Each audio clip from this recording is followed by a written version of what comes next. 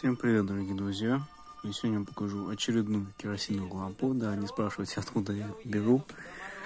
Вот, в общем, нашел вот такую лампу, летучую мышь. Прям э, советская-советская, можно сказать. Это не та, которая постсоветская, которую я нашел э, два года назад. Примерно, да. Вот.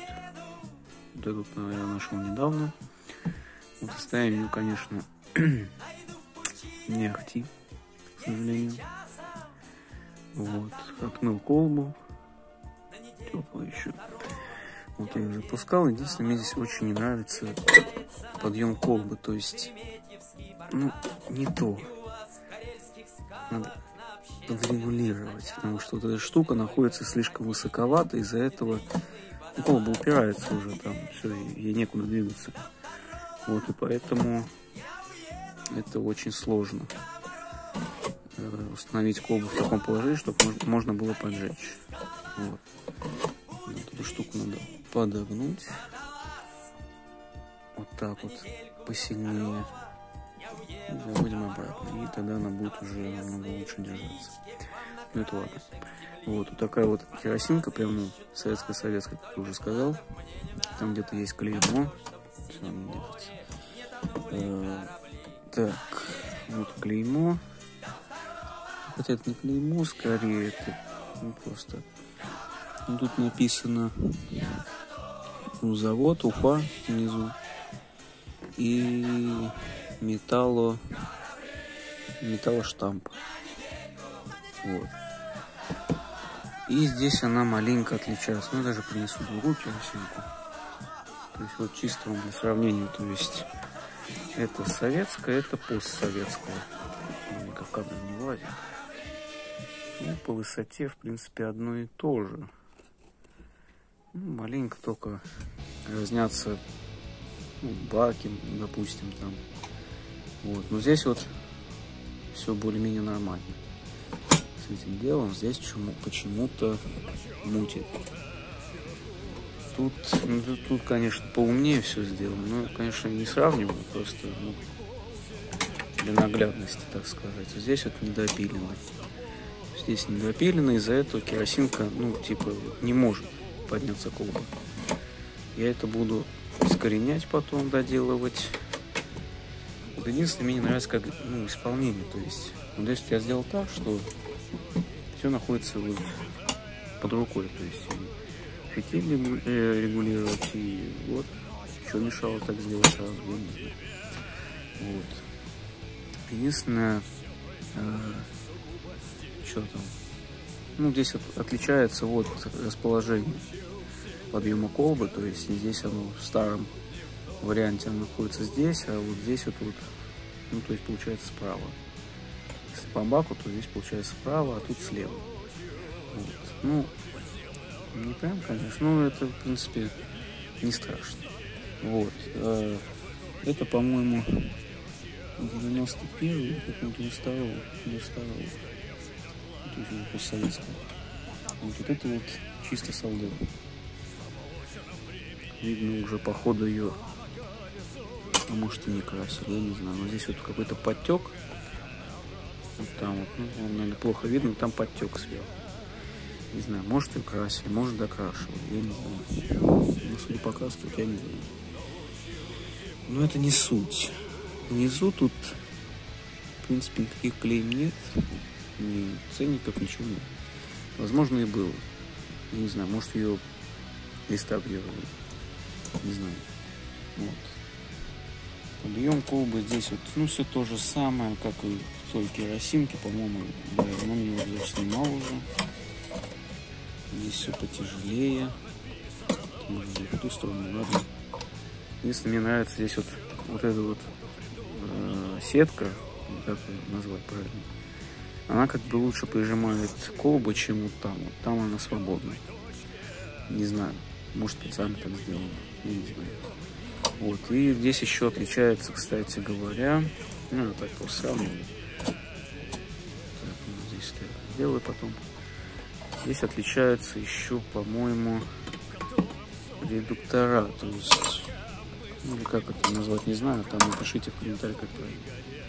Вот рассекатель, вот э, сам редуктор, то есть вот он. Да, там все ржавое, ну, состояние ну, не ахти, на самом деле. Вот, а в той керосинке там, по-моему, по-другому. Ну, здесь проще достать колбу, в разы проще. Вот. Так, и тут у нас ну, рассекатели одни, по-моему, одни и те же. Только единственное, проточка разная. Да, я могу ее и сюда поставить, в принципе. Она страшненькая, правда. Но это не суть. Здесь как-то вот маленько похуже все сделано. Это я вам просто показываю. Раннее и позднее. То есть, ну, я думаю, видно. Я думаю, видно, как отличается качество ну, и исполнение. Ну, удивление, эта керосинка вот, вот эта данная, она хотя бы работает, причем исправно. Ну и она, естественно, сохранилась хорошо, достаточно. Я там маленько реставрировал, но так ржавчины там было минимум. Только в тех местах, где происходило нагревание, естественно. То есть это сверху там была ржавчина, по, ну, в этой части внутри там, э, вот в этой, ну, рассекателе там. А так керосинка, она отлично сохранилась, в отличие от этой. Она была вся грязная, естественно. Вот, и она не очень сохранилась. Вот, автофосфоркой прошел уже, но состояние все равно не ахти, на самом деле. Вот, поэтому вот так вот. Но, можно сказать, для коллекции или для использования она мне как раз таки пригодится. Ну, сейчас он ее заведу еще. Вот, я не знаю, как я буду. Вот так сейчас сделаем. Зажигалку так подниму.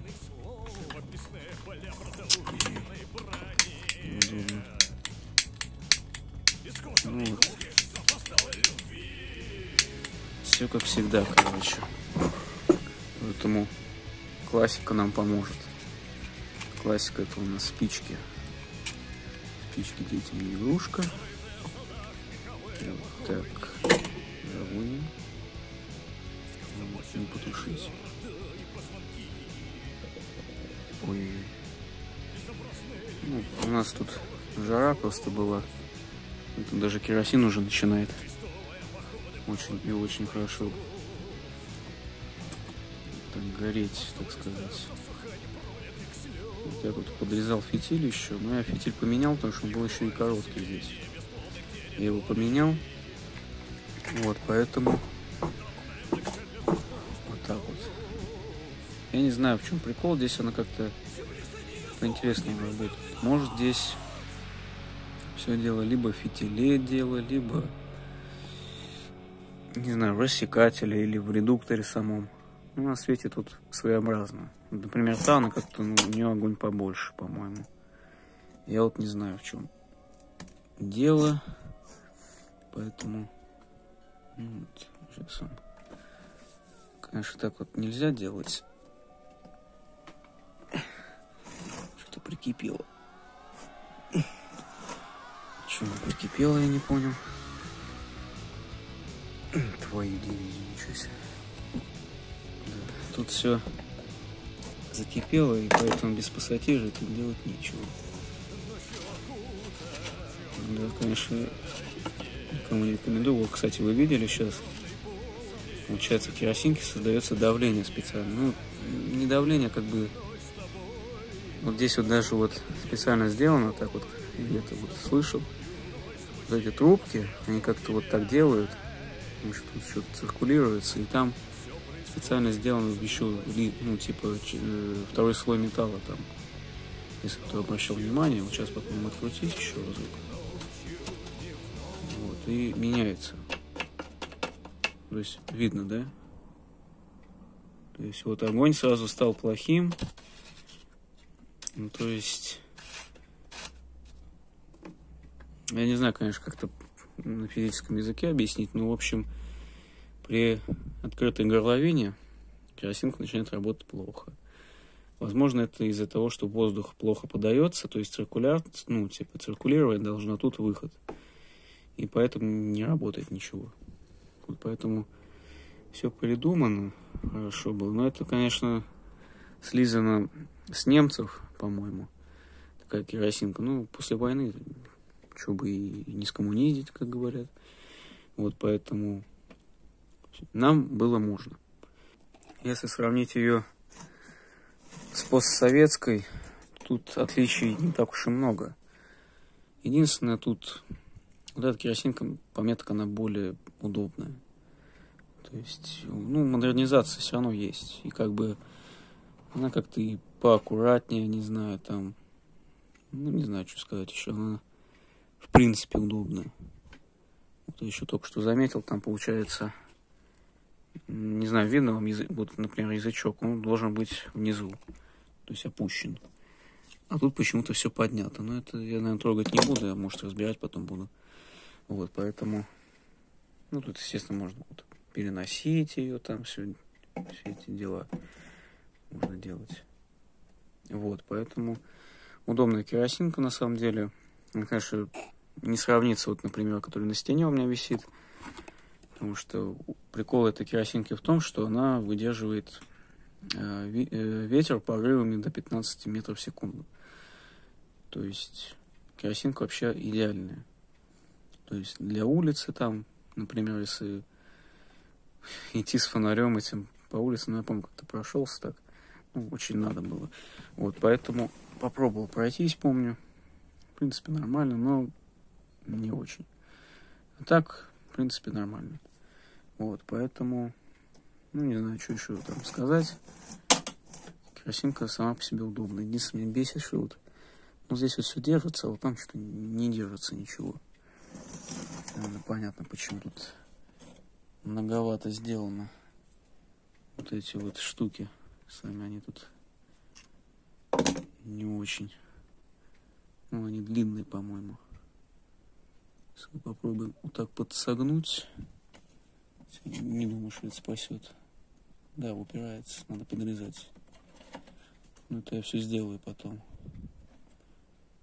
Вот. Поэтому ну, керосинки прокачивали, то есть вот эта вот керосинка 92 -го года, она уже как бы, ну, невозможно, качество здесь и хромает уже, вот, шатается тут, а здесь, ну, здесь тоже шатается, на самом деле, вот, здесь как-то все посильнее, по-моему. Ну, качество металла, что сказать, тут отличается. Главное, что работает работает и при этом работает хорошо. Даже в таком состоянии убитом, можно сказать, все равно керосинка подает признак жизни. Ну, потому что там в керосинке ломаться вообще нечему, на самом деле. Э, там система настолько простая, что эта керосинка, она может вообще работать и работать, пока керосин не кончится. И единственная проблема это колба и фитиль. И, в принципе, тут проблем больше и нет. Так-то, если за ней ухаживать, то, в принципе, ничего не будет. Вот поэтому керосинки, они отличаются очень высокой надежностью, на самом деле. Вот, поэтому керосинки на самом деле незаменимы. То есть свет пропал, и поэтому керосинка, она выручит всегда. Ну, раньше использовали керосиновые лампы, потому что они, ну, понимаете, они долго живут. Единственное, керосин надо подливать, а так они работают и работают. Вот, но это... Ладно, поэтому на этом, наверное, обзор завершу, потому что у нас он затянулся. Вот, поэтому... Еще одна керосиновая лампа у меня в коллекции, поэтому... Кому нравится там, ставьте лайк, подписывайтесь.